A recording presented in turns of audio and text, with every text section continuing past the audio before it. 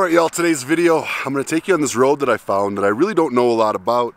I didn't find any website or any app or anything like that. It is literally something, I just looked at the map. It looked awesome. It's Highway 34 and it's running from Estes Park to Grand Lake. And from the looks of the map, it's windy, twisty, curvy. It appears to have a lot of elevation. I'm riding my Indian Challenger today. It's the Dark Horse Edition. This bike's a lot of fun to ride. It is absolutely great in the hills and the twisties. This is where this bike really shines. But you see, it's got all these big, large rock formations. The mountains are huge, bared rocks. It almost has a reminder of here. Let's see if we can get across the street.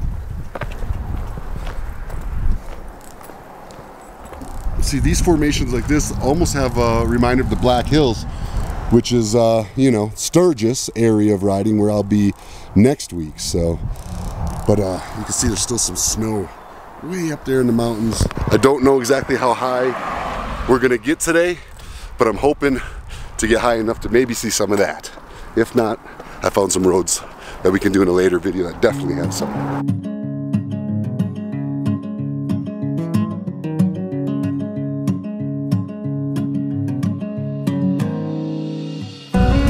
Well, this is Rocky Mountain National Park, and I am not to get in. well, I can see why that was probably a beautiful ride on the map.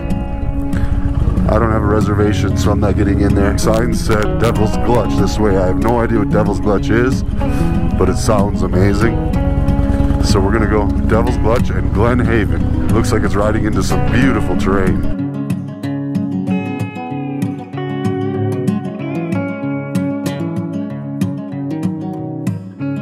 Got some good turns, that's for sure. This is where this Indian really, really performs. Ooh, scraping.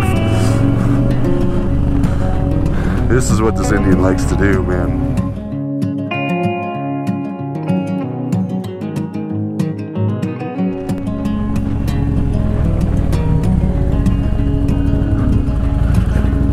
See, and just found it by accident, man. I mean, that's what riding's all about.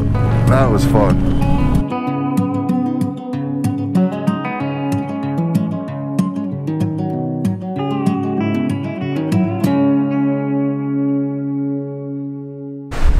Look at that old fireplace over there. Just the remnants of a house that once was. What a great spot.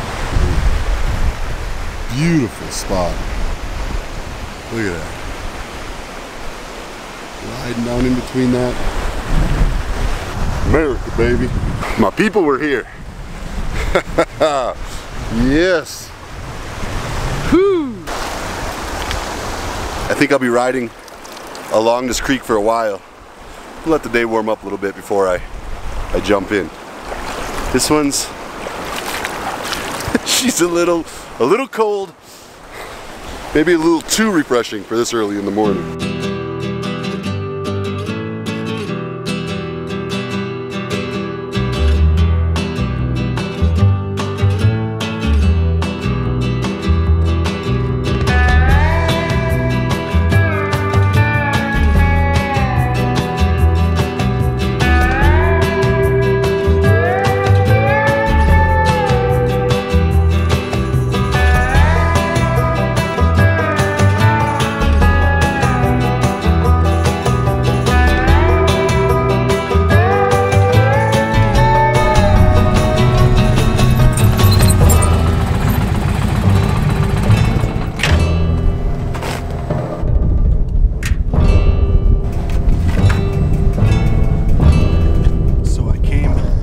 Came back up to this town to see if I could find out where Devil's Gulch is because I ran back into 34, which I just did a video on the other day. If you haven't seen it yet, there's the link. So I'm gonna go in here and see if they can help me out with some information. Oh, homemade cinnamon rolls, cherry cobbler for drinks, coffee, ice cream.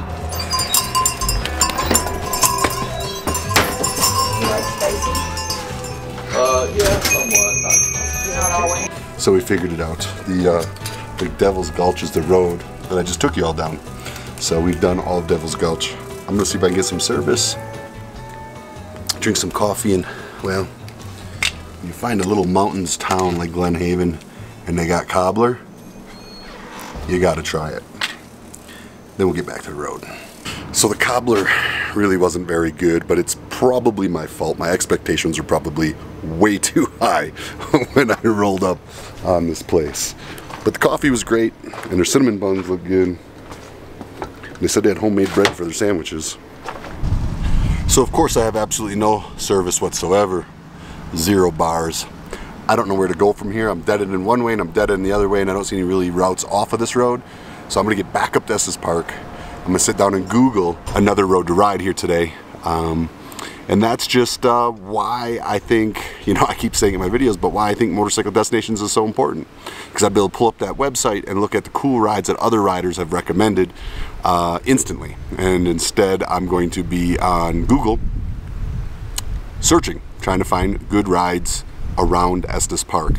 Very difficult to do. On Motorcycle Destinations, I just put Colorado, pull up the map, zoom into the Estes Park area and it'd show me all the rides within riding distance. I could click on it and it'd give me directions directly to the route. But hey, I'm building it day by day and I know y'all are out there helping me build it. And next year, riders aren't gonna have this problem.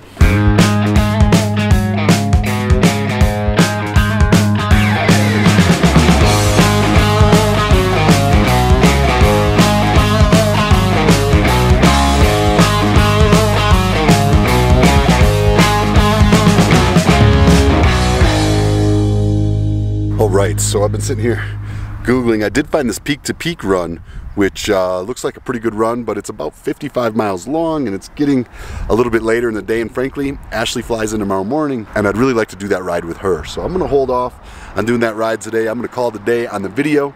I'm gonna go get some stuff prepared for my baby to arrive tomorrow. I tell y'all it's getting harder and harder to be gone for weeks on end uh, away from my girl. I don't know how our troops do it. Uh, I gotta thank you all so much for anybody who served in our country.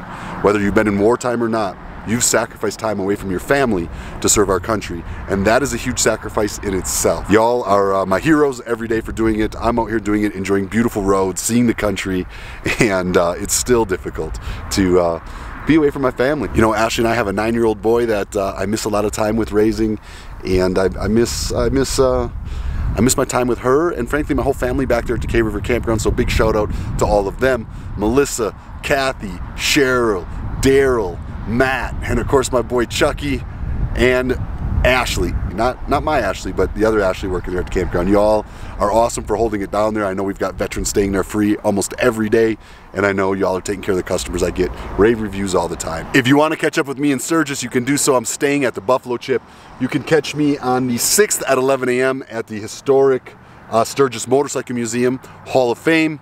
I will be there with Law Tigers where they're doing a competition to give away a free motorcycle. On the 7th, you can catch me at Black Hills Harley Davidson. I'll be there at the High Seas Rally booth from noon to 1 o'clock. The High Seas Rally, y'all, is a motorcycle rally on a cruise ship that I'm going on with Ashley this October. I hope y'all can join us on it. Uh, it's all for charity and uh, veterans. It's all inclusive booze, and if you decide to go, make sure you put in the code The Americans. You'll enter my group. They give me a $200 commission if you put in that, and I'm donating that towards buying a ticket for a veteran. I'll email everybody in my group. Y'all will nominate your veterans, and I'll pick one. You can catch me at Legend Suspension from 11 to noon. I'm going to be hopefully on Ashley's bike and likely getting her some Legend suspension on it because I rode it the other day and it absolutely needs it. And I'm sure there'll be some other shenanigans across Sturgis and I'll keep you updated on my feeds on social media. If you don't follow me yet on Instagram, please go over to Instagram. It's adamsandoval.official and uh, that's where you can get my most updates. I also do them on Facebook and I'm on Twitter and TikTok as well. All right, y'all, that is it for today's video. I hope you enjoyed getting turned down and not being able to ride the road I wanted but uh, still stumbling on a very cool road that I will go over to Motorcycle Destinations and add for y'all in case you want to find it someday. Y'all remember, things don't always go as planned, but you stay stubborn, you stay focused, and I'll see you in the next video.